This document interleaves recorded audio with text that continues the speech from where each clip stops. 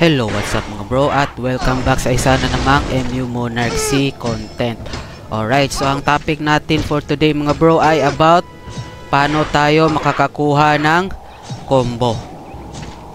So, dito sa MU Monarch C mga bro ay medyo kakaiba ang combo, ba? Sa usual lang natin mga bro pag gumamit tayo ng isang cyclone tapos tag-iisang skill either twisting slash, death stab o rageful blow ay doon mag-e-effect ang combo. So dito sa MU Monarch si mga bro ay medyo kakaiba siya dahil meron siyang bar. So ito mga bro ay parang combo bar. Pag napuno to mga bro, dyan lang nag-e-effect ang combo. Alright? So para mapuno tong combo bar na to mga bro ay kailangan gumamit ka ng death stab. O yun, death stab. Pag gumamit ka ng death stab, at itong whirlwind spike ay magko-combo ang yung ay makakagain ka ng combo bar.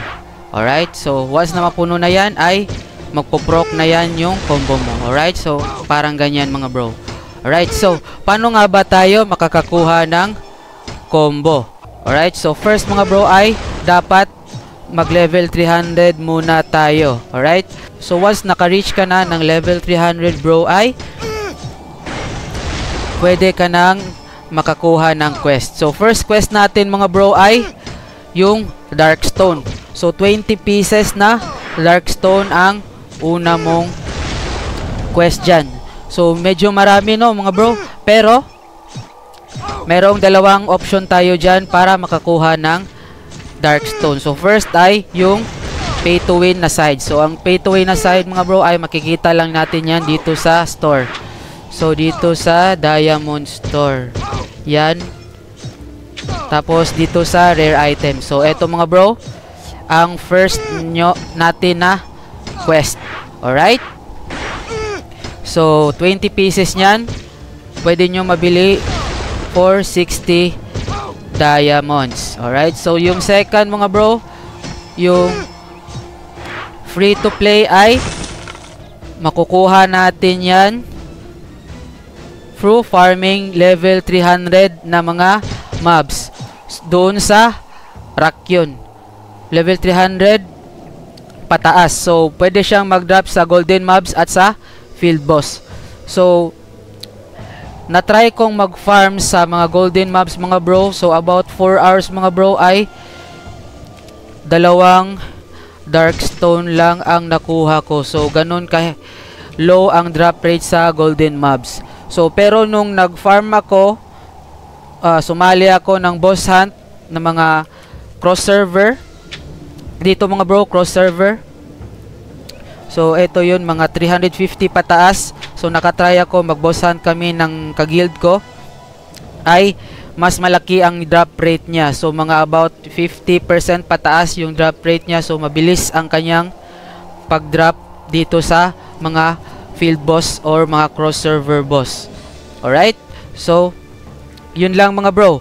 So number 2 or second quest natin para makakuha tayo ng combo mga bro ay yung Lightstone. So yung Lightstone mga bro, 5 Lightstone, Lightstone lang ang kailangan mo para ma-complete mo yan. So, yung Lightstone mga bro ay yung last quest mo yan para makakuha na tayo ng combo. So, paano nga ba natin makuha yung uh, Lightstone ay same, lang, same lang din mga bro. Ay first dito sa store at saka dito sa Diamond Store. Alright? So, sa rare item, yun, Lightstone. So, tag 500, 200 diamonds each. So, so kung lima, so gagastos ka ng about 1,000 diamonds. So, medyo mahal siya mga bro.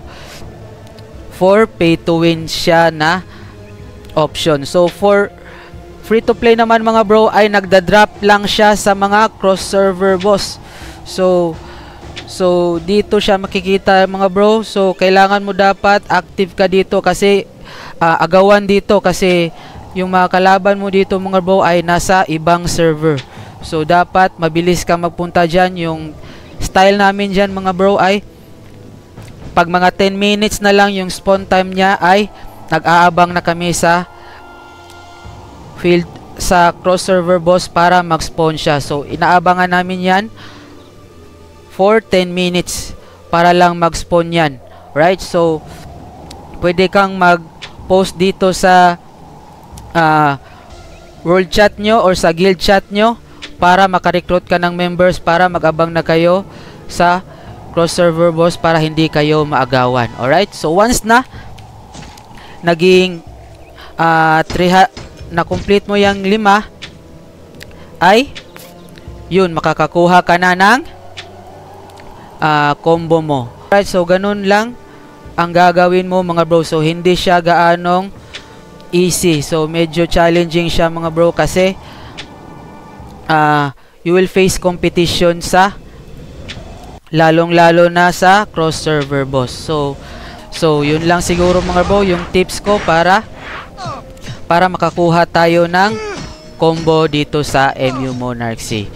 Shoutout nga pala sa mga tropa natin sa server 122 kang Boss U1. So, thank you boss. Nagpa-selfie pa siya kakan kanina. so, salamat sa iyo boss at na-recognize mo ko ah, kang Boss AA at saka kang Boss Bankay. At shoutout na rin sa guild namin na Tempest at kay Boss Harley na guild master namin. Alright, so yun lang siguro mga bro. Salamat sa iyong panunood. Stay safe, stay healthy at see you on the next video.